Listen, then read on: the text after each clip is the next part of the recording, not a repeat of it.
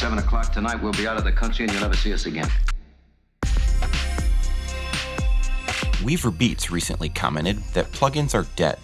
The crux of the story was that there are no new, interesting, and different VSTs being developed.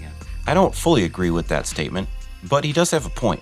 I mean, at the end of the day, how many different DX7, Juno 6, and Oberheim clones do you really need? But manufacturers keep pumping them out. If you dig deeper, however, you might find that there are a few low key developers doing some interesting things with sound design. Just this year alone, I've done videos on FactorSynth, Droplets, and Harmony Bloom. These are all produced by very small companies, usually just a single person struggling against the sea of giant companies like Spitfire and Native Instruments. I like showcasing these developers and purchasing a few plugins so that they can keep the lights on. One developer that you might not have heard of is Micah Frank at Puremagnetik. If you go to the website, you might be surprised to find not just one or two VSTs that you can buy, but multiple pages of individual instruments and effects. Things like an FM drone animator and Solveg, which is an emulation of the Roland SH101, to Quanzatron, which is a Cybertronic itero buffer. Just the names and descriptions of each effect really make you want to dig deeper to see exactly what each one of these things does. In essence, Puremagnetik plugins resemble boutique guitar pedals, all with very different effects, and they bring to mind such names as Earthquaker Devices, Chase Bliss, and Hologram. There are even bundles of different effects, including an ultimate bundle of 39 plugins. After probably an hour rummaging through the website, I ended up purchasing a couple of effects, and we're going to go through three of them. First off is Woolren, which is fairly unique. It's called a phase modulation matrix, which sounds cool and complex. It is, and it is.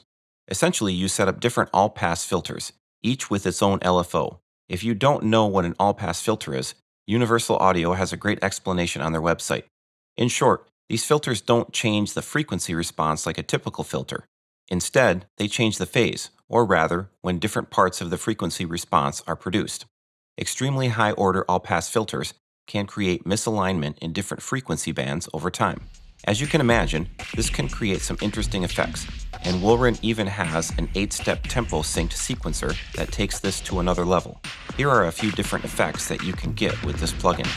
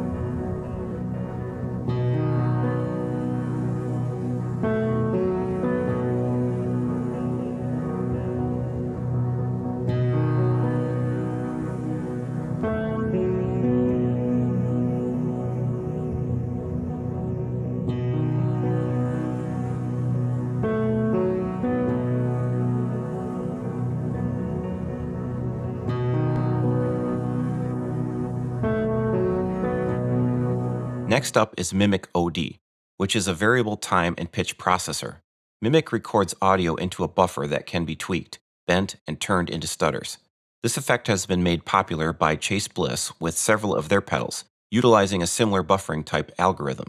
As you can imagine, this effect can get pretty crazy, but can also be a lot of fun, and it works very different with short sounds versus longer processed pads or arpeggiators.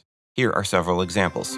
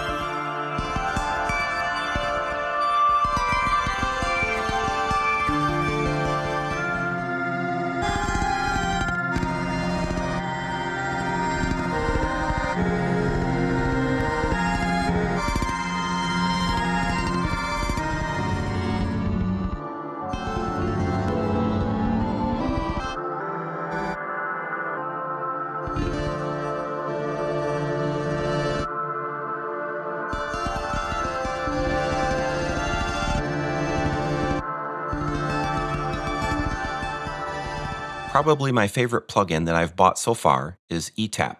eTappy? eTepe.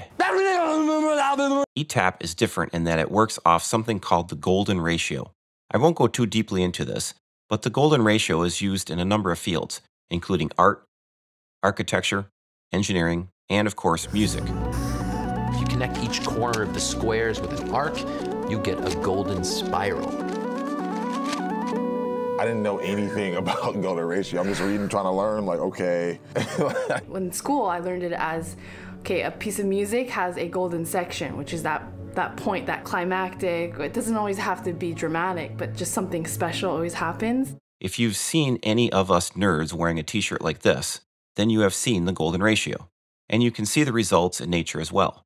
I've not come across any other delay VST that lets you set up multiple delay taps as easily as eTap does, and the results can be impressive.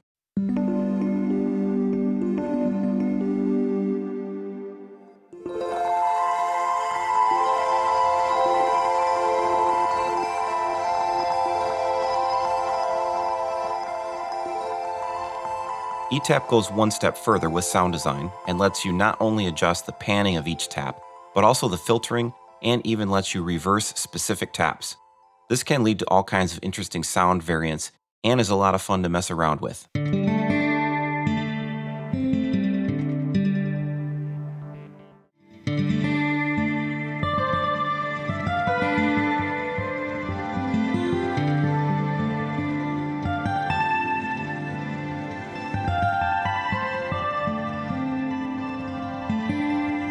Is great about all of these effects is being able to combine them to get some really awesome sound design potential, kind of like putting a bunch of guitar pedals together in series.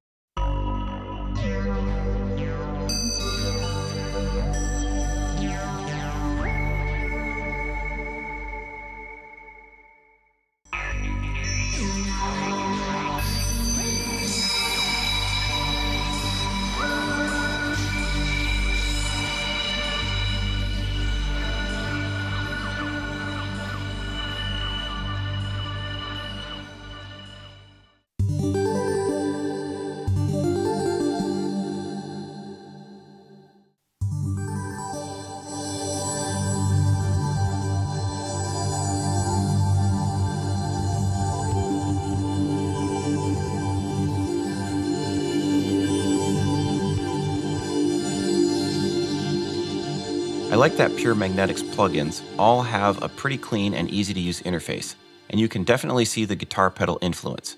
They also have a very clean sound to them, as you can hear in the examples. This is the result of using Csound, which is reported to have top tier sound quality as far as musical programming tools are concerned. Finally, they are pretty inexpensive, with most of these being 25 bucks a pop. There are bundle sales, but you have to watch or be subscribed via email. There are a couple of things that I think would help these plugins become more popular, which I would like to see. Thus, I'm going to give my opinion on things that I would like to see improved in future potential updates. First is to add a save preset feature. This is possibly the biggest thing missing. It's probably not really needed on some offerings since they only have 5 or 6 controls, but on something like eTap, it is really missed. There are 14 sliders, each with its own panning, reverse, and filter controls, so recreating a favorite patch to use again is a bit painful. Being able to favorite a preset would also be great, as I can see myself creating another couple of dozen presets for this particular plugin. That's it for today. Let me know what you think of Puremagnetik's plugins, and check out their link in the description below. Be sure to hit that like and subscribe. Keep making great music.